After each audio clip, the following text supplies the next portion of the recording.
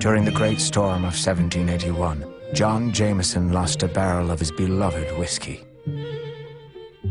He said goodbye to the crew and went in after it.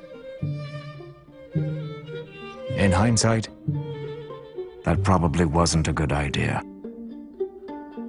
Weeks later, a funeral was held. All of Ireland was in attendance, including John Jameson.